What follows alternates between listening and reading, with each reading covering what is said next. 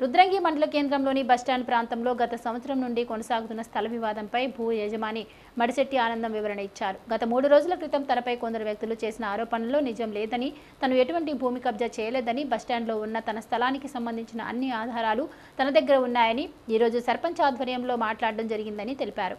అనవసరంగా తనపై తప్పుడు ఆరోపణలు చేయడం మానుకోవాలని అన్నారు. ఎటువంటి సమాచారం ఇవ్వకుండా తన స్థలంలో గోడ నిర్మించినందుకే వాళ్ళపై కేసులు పెట్టానని తెలిపాడు.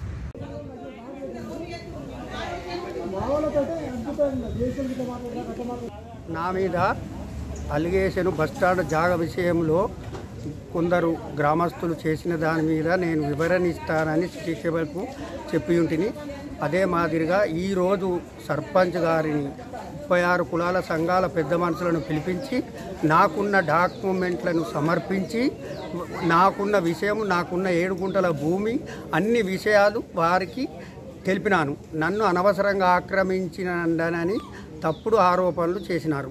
కానీ నేను దానిలో ఒక్క పుల్ల కూడా ఏది ఇటుక పెళ్ళి కాదు ఒక పుల్ల కూడా దానిలో పెట్టలేదు.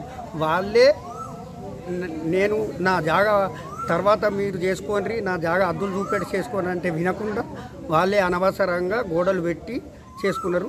నేను చెబితే వాళ్ళు వినకుండా ఈయన ఇష్టం ఏమైనా చేసుకోపోవాలని చెప్తే నేను పోలీసులు ఆశ్రయించవలసి వచ్చింది కానీ నాది ఏం తప్పు లేదు. జెన్యున్గానే నేనున్నా.